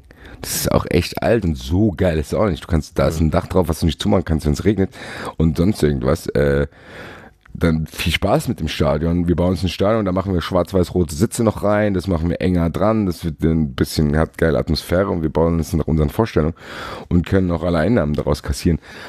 Weil im Endeffekt ist die Eintracht äh, trotzdem ein Verein, der das stemmen sollen, also der müsste das eigentlich stemmen können wenn nicht immer so diese Flickschusterei gemacht worden wäre. Und ich glaube, wenn du jetzt hier mal so ein bisschen die Eintracht umstrukturieren willst, was ja auch passiert, Gott sei Dank schon, äh, dann ist das ein ganz wichtiger Punkt. Ja. Weil du zahlst eine horrende Miete, ich glaube die höchste in der Bundesliga für ein Ja. Stadion, was so geil ist es auch nicht.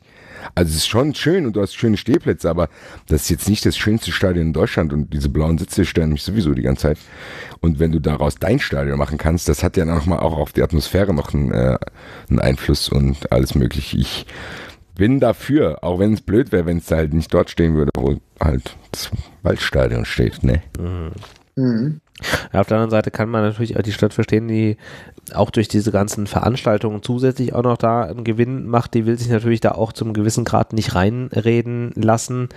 Ähm, zu sagen, okay, ihr entscheidet, wer da irgendwie reinkommt. Das ist für die natürlich auch irgendwie so ein, so ein Thema. Auf der anderen Seite ist es natürlich auch so ein gewisses Druckmittel, weil Alternativen gibt es halt auch irgendwo nicht.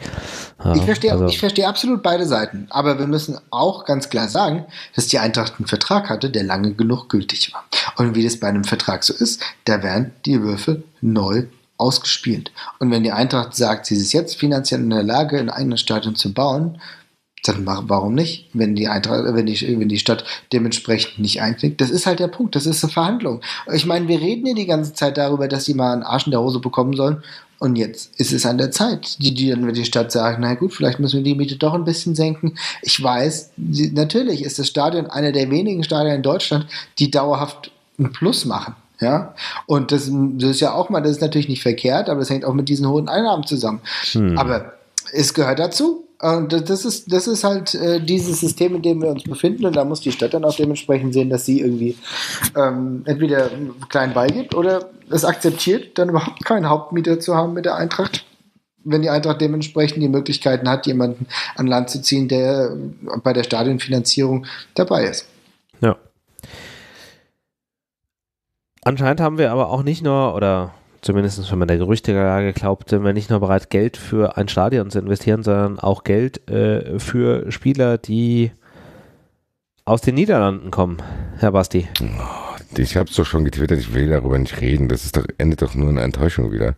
Also das ist ja nicht realistisch, dass Davy Klaas von Ajax Amsterdam zur Eintracht kommt, ist das ist schön, das zu lesen, weil du dann drei Sekunden irgendwie Dich denkst, freust. oha, oha, oha, oha, um dann zu denken, ja, okay, äh, kann ich eh nicht. Das ist wie wenn du dir, äh, was weiß ich, im Saturn Fernseher für 10.000 Euro anschaust.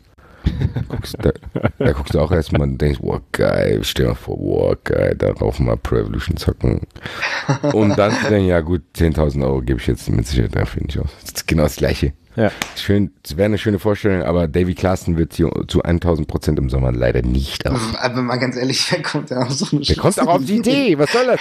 Die wollen uns doch ärgern damit. Ja, Nein, die also wollen die wollen damit es- ärgern. Nee, alle. Aber ich meine, Das das, ist sind so diese Gerüchte. Was soll das? Also was soll so? Gerücht. Also, Ja. ich, also es- es macht für, für mich auch rein logisch keinen Sinn. Vielleicht hat er einfach wieder viel zu jemand viel zu lange an seinem Football, Fußballmanager 2013 gehängt, äh, gehangen, den er jetzt irgendwie geupdatet hat auf die Saison 2016, 2017. Aber äh, das hat das ist absurd und ich glaube, es lohnt sich nicht großartig darüber zu reden. Das, das könnt ihr dann machen, wenn ihr irgendwie der FIFA zockt, wenn der, wenn der René hier wieder, wieder bei seiner Live-League da am Start ist, ist von mir aus aus okay. Italien. Ja, genau. Aber bei allem anderen äh, wird das nicht eintreten.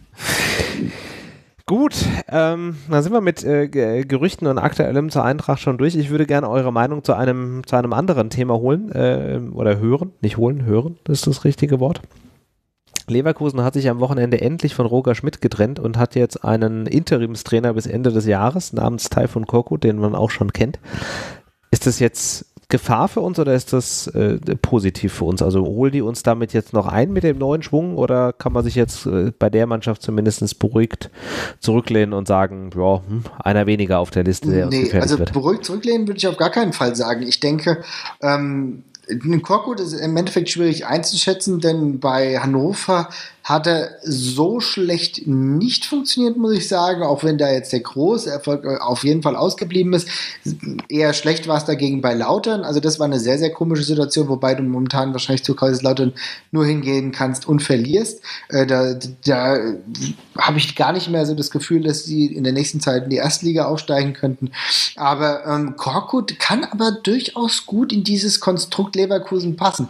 Ich bin gespannt, es ist auf jeden Fall eine Wundertüte, aber ich glaube, dass äh, unter Roger Schmidt zuletzt eigentlich, ich meine, wir, seien wir realistisch, die Eintracht hat ihn noch ein paar Wochen länger im Amt gehalten. Hätten wir nicht da einen absolut dämlichen Tag gehabt und unglaublich schlecht gegen Leverkusen ausgesehen, hätten, wäre das sein letzter Arbeitstag ja. gewesen. Ja. Hm. ja.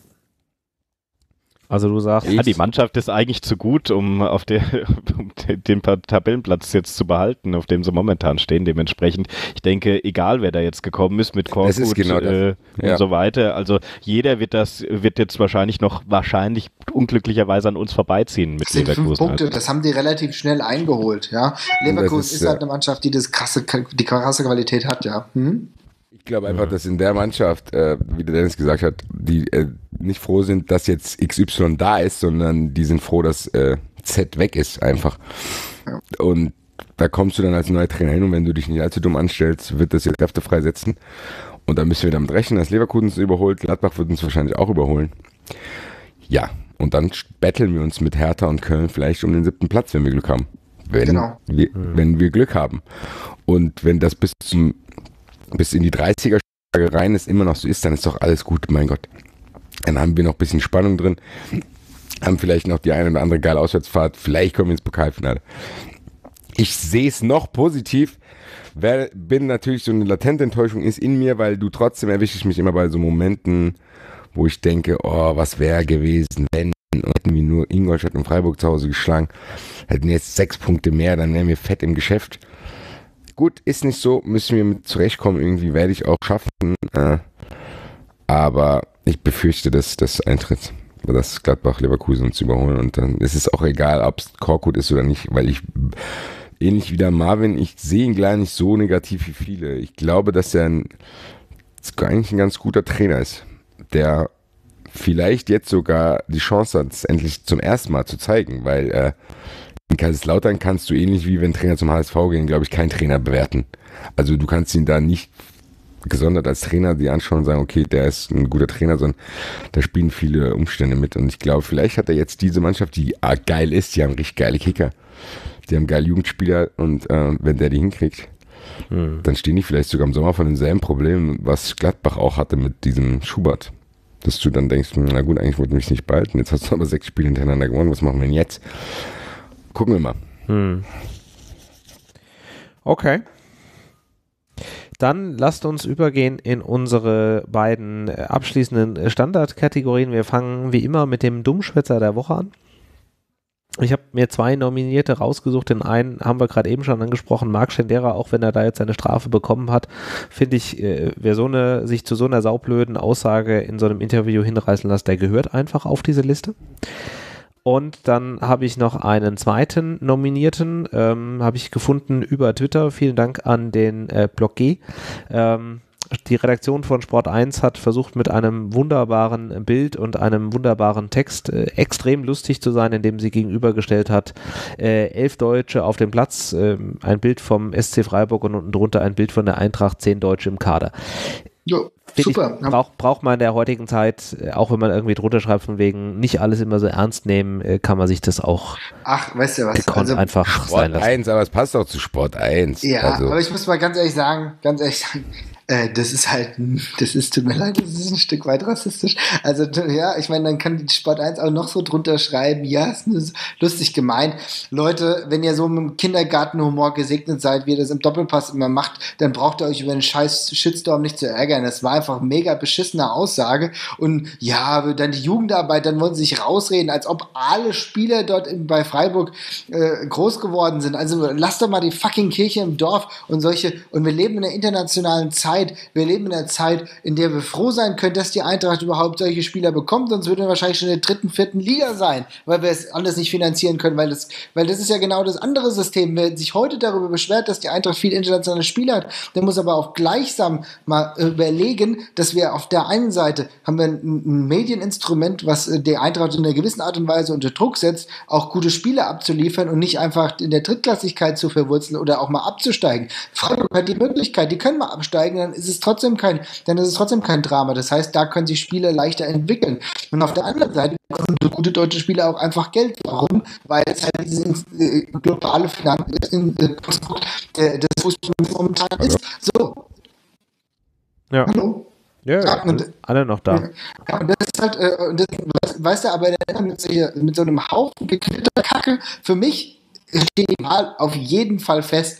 Äh, Nicht nur Dummschwätzer der Woche, also die Sport, äh, die Sport 1 Zoten da, die Social Media Handel, die müssen echt mal, die müssen sich echt mal Gedanken machen, was die über für eine Scheiße posten. Ich muss echt sagen, ich habe das erst mitbekommen. Nein, ich habe ich habe erst mitbekommen, als als äh, der gute Krieger das gepostet hat. Davor ist mir das, weil ich den Vollpfosten natürlich nicht folge. Ich mache mir doch nicht absichtlich meinen Tag schlecht mit irgendwelchen halbgaren Witzen, die irgendein 13-Jähriger auf einem verfickten Schulhof hätte abklappern können. Was soll das denn? Also muss ich ehrlich sagen, ich, ich die gesehen, hätte ich ihnen mal ins Gesicht gekotzt. Also es ist eine Frechheit. ist eine, nein, es ist einfach eine Frechheit, was sich so Leute erlauben und meinen, dass sie hier großartig, wahrscheinlich, wahrscheinlich sind, äh, haben sie dann alle schön in ihrem Profil irgendwas stehen, ja, Sport 1, Mitarbeiter, hm, ja, ne, musst aufpassen, seriös. Nein, ihr seid Vollpfosten, wenn ihr so eine Scheiße macht. Und da, und da begebt ihr euch auf ein rassistisches Niveau und wenn ihr euch angesiedelt fühlt, viel Spaß dabei. Das ist ja, das hat ja schon dieses Stammtischniveau. Dann will ich mit euch Kackbratzen echt nichts mehr zu tun haben. Sorry, aber das geht gar nicht. Finde ich Ja, mega beschissen. Finde ich mega beschissen. Sorry. Ja, hast bin, du bin, ich, vollkommen. bin ich dabei. Hast du vollkommen recht. Im Chat wird gerade eben angemerkt, äh, dass dein Mikro äh, versagt. Das war ein Punkt in unserem Trinkspiel. Von daher hoch die Tasten. So, wir haben noch einen äh, Nominierten, den hat wahrscheinlich Basti da reingeschrieben, oder? Den hat wahrscheinlich Basti. Das ist mein spezieller Freund der letzten Wochen. Das ist der Herr Ah, Rainer Einer Wendt. von den vielen, die du hast. Ja, ja, ich habe ja meine Liste, die veröffentliche ich bald mal. ähm, äh, ja, Rainer Wendt hat sich äh, wieder geäußert. Ich weiß nicht, ob ihr die Entwicklung um seine Person mitbekommen habt. Mit dem, mit dem Geld, was er zufällig bekommen hat, weil er Werbung Was gemacht hat für ein Versicherungsunternehmen. Rein Ja, zufällig. genau, rein zufällig hat er äh, neben den merkwürdigen Zahlungen, die er scheinbar vom Staat kassiert, obwohl er gar nicht als, also Beamtensold kassiert, obwohl er gar nicht als Beamter arbeitet, sondern nur für die Gewerkschaft darum turnt, was ein bisschen merkwürdig anmutet, entbehrt nicht einer gewissen Ironie, dass ausgerechnet jener Rainer Wendt, der zu allem und jedem Fußballfan und sonst irgendwelchen gesellschaftlichen Entwicklungen und auch sogar Bücher schreibt, die Fresse aufreißt auf eine populistische Weise, dass du das nicht mehr ertragen kannst und eine der unsäglichsten Personen in der Medienlandschaft ist, dass er jetzt in die Situation gerät, äh, in Erklärungsnot zu sein, das gibt mir so ein Munzeln aufs Gesicht und das kann man mir leider nicht verdenken und der hat jetzt den ganzen Tag die Krone aufgesetzt. Er hat leider mit Fußball, hat es eigentlich nur indirekt zu tun, aber was er heute gesagt hat, warum er sich dann weigert, obwohl er eigentlich verpflichtet ist. Also du bist verpflichtet als Beamter deine Nebeneinkünfte auf, äh, darzulegen. Obwohl er eigentlich verpflichtet hat er gesagt, er will seine Nebeneinkünfte nicht offenlegen, weil das würde nur eine Neiddebatte auslösen. Wo ich mir denke, ja genau, darum geht's gerade, gell? Mhm. Ach, ich Also- glaube, das passt so gut ins Bild des Ja. Rainer Wendt. Äh, Das spricht für Ja. sich selbst. Hm. Ich, Das ist herausragend. Das spricht für sich selbst. ist auf jeden Fall einer, bei dem könnte mir tatsächlich, da wäre ich wahrscheinlich in Riesenschwierigkeiten, aber wenn der, wenn der irgendwie mir was erzählen wollen würde, dann könnte mir tatsächlich so eine kleine Rückhand rausrutschen, dann wäre ich wahrscheinlich in großen Schwierigkeiten, aber das ist ein Gesicht, äh, wo ich gerne mal reinschlagen würde. Ich habe es jetzt einfach offen gesagt, weil mir keine andere Formulierung eingefallen ist. Tut mir leid. Rainer, wenn du das hörst, gell? Das stimmt sogar. Ja, hier sind äh, keine Fake News, hier sind nur echte News. Ähm, ja, habt ihr sonst noch äh, Nominierte für unsere Dummschwätzer-Kategorie? Quatsch. Wir haben jetzt drei Leute, die sind so gut, die können, also Ja. äh, drei Institutionen, Personen oder Leute. Also das ist doch herausragend. Oh, sehr gut, ja. Gut. Marvin sagt, da geht nichts mehr drüber. Dann gehen wir zu unserer nächsten Kategorie über. Ich glaube auch, dass der Sport 1 Fan Talk extra parallel zum Eintracht Podcast sendet, damit die raus aus der Nummer sind. Auf jeden Fall. Das kann auch sein. Wahrscheinlich das nach die war Idee ja jetzt ein- uns. Das waren, äh, also das muss man ja mal sagen, ich habe hier ähm, Es war heute ein grandioses Line-Up da. Äh, Mario Basler, Thomas Hermanns, irgendein Kasper, Ach, dann der Scheiße. komische Ja, äh, der Moderator Pocher, der da, Pocher der saß irgendwelche auch mit drin. Werbung Ja, macht. Thomas Helmer, Peter Neururer, Oliver Pocher. Also da hast du wirklich alles Die äh, Creme de la erreicht. Creme des äh, Fußballsachverstand.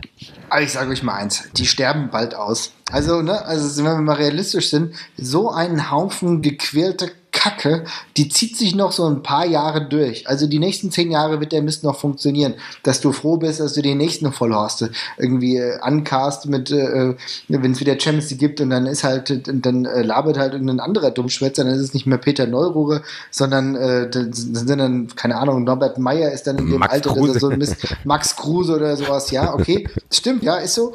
Aber andererseits, also das kann auch keine, das kann keine Entwicklung fürs Fernsehen sein. Also, und es hat schon Gründe, warum sich alles vom linearen Fernsehen wegbewegt. Genau solche nämlich. Ja, das ist richtig. Ja, aber ich glaube, Marvin, da muss ich dir leider ein bisschen enttäuschen. Ich glaube leider, dass der Fußball sich trotzdem ein Stück weit in diese Richtung entwickelt. Ja, da hast du recht. Und dass das das ist, was viele anspricht auch, die dann zu Hause sitzen und sagen, ja, endlich sagt's mal einer. Wir haben das gesagt. Stammtischplauderer, ne? Genau, das sind, ist und so. das gibt's leider so. Ich hätte es nicht vermutet, aber es scheint ja so zu sein, wenn du dir Sky 90 teil, all- teilweise anschaust, in was für eine Richtung sich das verändert hat. Und die verfügen ja trotzdem über große monetäre Mittel, um auch Marktforschung zu betreiben und vielleicht haben die rausgefunden, okay, das ist gewünscht, dass Guido Schäfer, Jessica Kastrop dort sitzen vor einem Aquarium, wo irgendwelches Vogelgezwitscher kommt, die dann äh, irgendwelche, irgendwelches Halbwissen über Fanszenen verbreitet und Jessica Kastrop gibt eine Expertise über Fanszenen ab. Das scheint so gewollt zu sein. Das spiegelt sich in öffentlich-rechtlichen teilweise wieder, wenn du so die Fußballdiskussionen bei Markus Lanz manchmal siehst, wenn Waldemar Hartmann dort sitzt. Scheinbar ist das so, scheinbar sind das diese Leute auch die Meinungsführer und ähm, das ist, eine, das ist eine Entwicklung, mit der komme ich ganz, ganz, ganz schwer zurecht, weil dort viele Sachen verdreht werden, viele Sachen werden dramatisiert. Ich habe es bei 93 die Gentrifizierung des Fußballs genannt äh, und das schreitet voran. Das wird echt eklig werden, glaube ich, weil du mittlerweile Leute im Fußball hast, die sich zum Fußball äußern, denen du eigentlich gar nicht gerne zuhören wollen würdest, als eigentlich auch nicht machen würdest, da sie sich aber über Fußball äußern, das trotzdem irgendwie in deiner Blase landet und du dich eigentlich Ja. nur noch aufregen kannst. Ich muss da genau, da du sprichst einen sehr guten Punkt an. Natürlich ist es off-topic, aber ich muss ganz ehrlich gestehen, dass ich nicht wusste, dass Gerhard Schröder mittlerweile im Aufsichts Aufsichtsrat äh, von Hannover 96 sitzt. Denn ich gucke mir Spiele an von Hannover, aber seltene Pressekonferenzen. Jetzt habe ich der gestrigen Presse Pressekonferenz beigewohnt, habe mit Entsetzen festgestellt, dass da jemand labert, den ich kenne. Ja, nicht nur, also den- nicht nur den ich jetzt vom Fußball her kenne, sondern von der Politik, von dem ich vor drei, zwei Jahren auch schon gedacht habe, ja, also man kann deine politischen ähm, Ereignisse beziehungsweise Ergebnisse, das kann man bewerten, wie man will, äh, fand ich teilweise auch äh, ordentlich und so weiter und so fort. Das mag jedem selber überlassen sein. Aber was er da so von sich gelassen hat, habe ich gedacht, na, so mit Fußball, nee, jetzt, also jetzt nicht so wirklich das Fachwissen. Also da muss ich sagen, das finde ich ja auch skurril, ne? dass mittlerweile jemand wie Gerhard Schröder da sitzt, der sich, glaube ich, mittlerweile auch einfach nur noch gern reden hört und sonst nicht mehr wirklich viel macht. Also das ist, das ist alles sehr, sehr absurd. Auch in diese Richtung, also dass du jetzt mittlerweile einfach irgendjemand installierst, nur weil er einen Namen hat.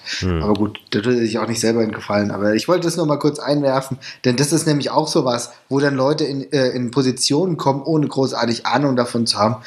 So ein bisschen habe ich das Gefühl. Ja. Das ist dieser Fußballbetrieb, dieser selbsterhaltende, wo du das Gefühl hast, da kannst du teilweise echt nur noch mit dem Kopf schütteln. Ja, das ist. Und außerdem ist dort richtig. Andermatt mittlerweile engagiert. Martin Da Andermatt, gedacht, was hat der denn für eine Funktion? Das habe ich nicht auch irgendwo. Hab, Kommt der habt ihr denn alle? Kurios Kuriositäten jetzt zusammengewurschtelt oder was? Also ich habe es echt nicht verstanden. Der Junge, der war bei uns, ich fand, das war ein beschissenes Jahr, als der Trainer bei uns war. Wie kommen denn andere Vereine da drauf? Und der hat sich auch ehrlich gesagt in, in der Schweiz in den letzten Jahren so ein bisschen durchgewuselt. Also es war jetzt nicht so, als wäre Martin Andermatt jetzt hier der mega äh, Titel... Äh, Titelmensch gewesen, der unglaublich viele Gürtel, äh, Gürtel sag ich schon, wir sind nicht beim Wrestling, aber äh, der unglaublich viele Titel geholt hat, ja. Also, also was ist denn da los? Das heißt ja kein Meistertrainer, ja. Aber irgendwie hat er es da reingeschafft. Der ist, äh, der ist mittlerweile als Berater tätig. Berater, das ist auch geil. Das ist eigentlich, ich gestehe es, ich äh, kritisiere es, aber das wäre eigentlich mein Traumjob. Ich bin Berater vom, äh, vom Verein. Was machen Sie? Ich mache nichts, lass mich zahlen. So wie Paul Breitner beim FC Bayern. Wenn irgendwie gar nichts mehr funktioniert und du wahrscheinlich irgend bei jemandem was gut hast, dann wirst du als Berater eingestellt. Ja, natürlich. Der weiß, zurückgetretene Breitner, ja. Ja, ja. Ja, also gekündigt. Äh, aber wer weiß, was Martin Andermatt äh, in, äh, in, seinem Giftschrank hat gegen den einen oder anderen, dass er sich diesen Posten Ach, holt. Halt und das jetzt kommt noch Haus Held dazu, also Hannover 96 ist, was die Führungsebene betrifft, sehr gut aufgestellt. ja, ist ja, wie, wie Marvin schon gesagt kind hat. Held so Schröder Andermatt, also das ist schon die Achse des Bösen. So ein kuriosen Kabinett. Ja. ja, auf jeden Fall. Also mir tun, die, äh, mir, mir tun die Hannoveraner auch ein Stück weit leid. Da haben sie echt mit dem Trainer den einzigen, der ordentlich ist, der so wirklich ein geerdeter Typ ist. Ob man das jetzt so, so herausragend finden soll oder nicht, okay. Aber ich meine, nur weil der jetzt Martin Andermatt, der zweimal mit Vaduz äh, Lichtensteiner Meister geworden ist, dann hast du trotzdem noch nichts erreicht, ne? Aber gut, Cupsieger. Aber gut. Ja, Lassen aber um den Hannover-Fans so ein bisschen, äh, ein bisschen Erleichterung zu verschaffen, es gibt ja in der Liga äh, Vereine, über die wir vielleicht ganz kurz auch noch reden können, weil es mich auch sehr beschäftigt hat. 1860 München ist Ach, ja tatsächlich Scheiße. nur noch die Karikatur eines Fußballvereins irgendwie und wirkt wie aus so einem schlechten, als hätte sich irgendeiner so eine äh, übertriebene Komödie ausgedacht, was passieren, um darzustellen, was passieren kann, wenn die 50 plus 1 Regel aufgehoben wird. Und äh, leider ist es aber real, was da gerade passiert. Und das ist doch arg kurios. Ich weiß nicht, wie eure Takes dazu sind, aber ich bin fassungslos, ehrlich gesagt. Ich habe mich da jetzt nicht so viel krass. mit dem Thema ähm, naja, Pressefreiheit, die extrem eingeschränkt wird. Ja gut, den, also, den Teil habe ich noch mitgekriegt, aber was war jetzt das war mit dem Jubeln, wo ich sage, hier setzen Sie sich bitte weg hier, hier wird nicht gejubelt für andere Teams. Das wollte er entfernen lassen, ja, ja, von der Tribüne, stimmt, ja.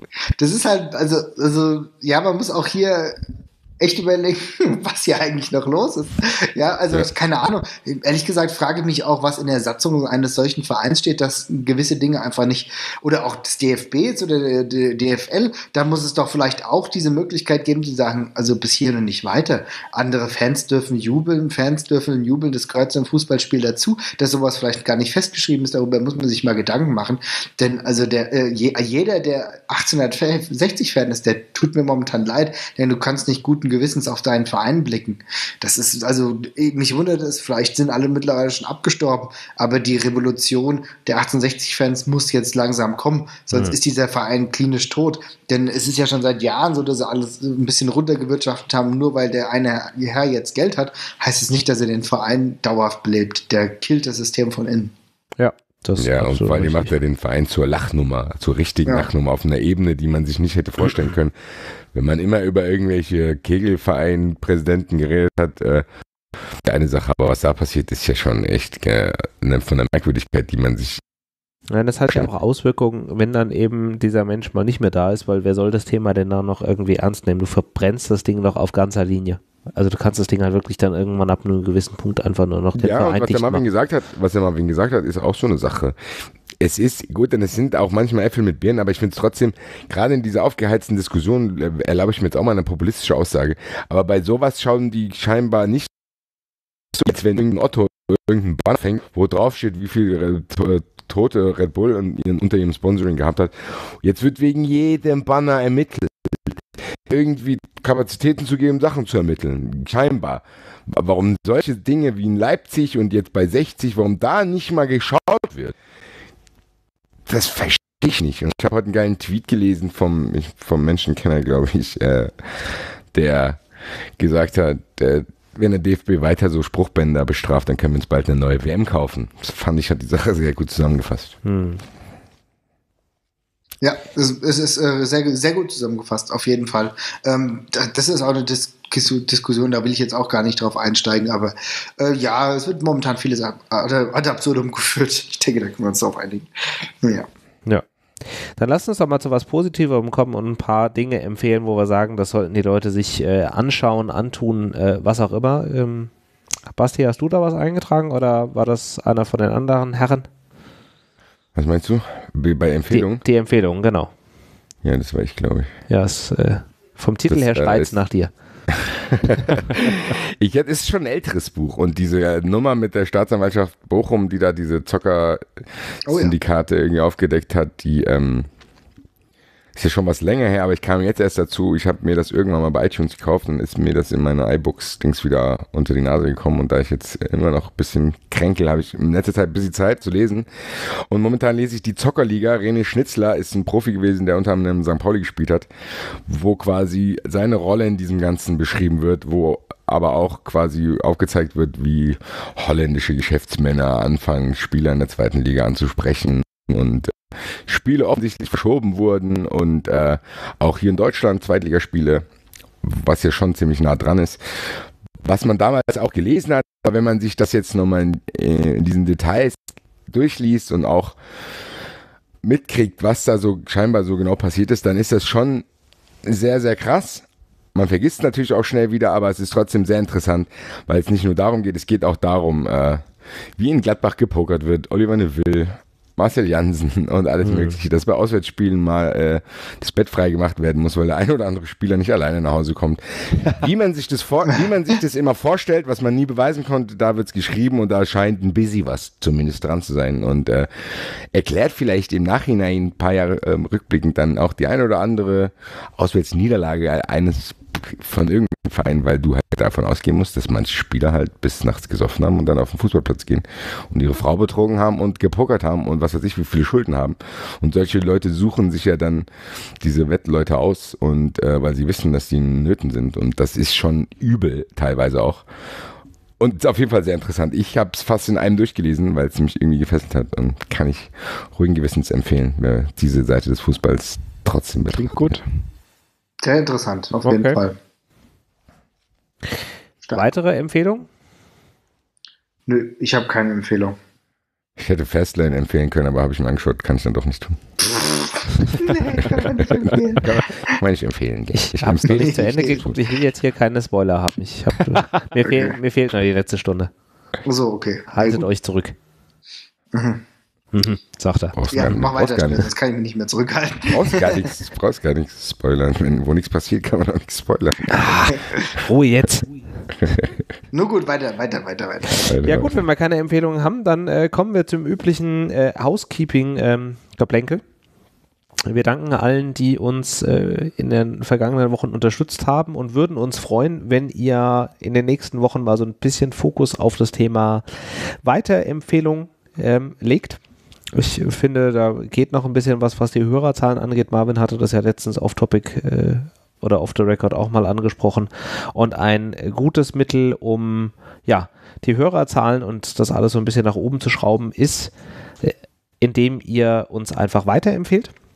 Von daher die ganz große Bitte an euch, sucht euch doch mal ein paar Leute, von denen ihr wisst, die sind Fußball interessiert und äh, die vielleicht auch mit dem Thema Podcast noch nicht so ganz viel anfangen können und erklärt ihnen doch einfach mal, was ihr, was wir hier tun und wie sie uns hören können und ja, gebt das doch einfach mal weiter und auch da zählt das Thema Bewertungen bei iTunes. Also falls ihr das noch nicht getan habt, dann einfach bei iTunes mal ein paar Sterne hinterlassen und eine kurze Rezension schreiben. Auch das hilft, dass wir da einfach nochmal so ein bisschen Aufmerksamkeit bekommen. Alle Dinge, wie ihr uns unterstützen könnt, findet ihr unter eintracht-podcast.de slash support.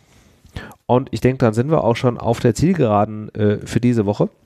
Es war mir wie immer ein Fest. Ich fand auch, das hat bis auf die äh, kleineren Aussetzer ähm, bei der Verbindung von Marvin eigentlich ganz gut funktioniert mit dem neuen Setup. Was ich so über den Livestream gehört habe, war das auch qualitativ äh, sehr gut und der Chat war auch heute wieder sehr aktiv. Wenn auch ihr da draußen mal bei so einer Live-Geschichte mit dabei sein wollt, dann guckt einfach mal auf unserer Webseite die Seite live an.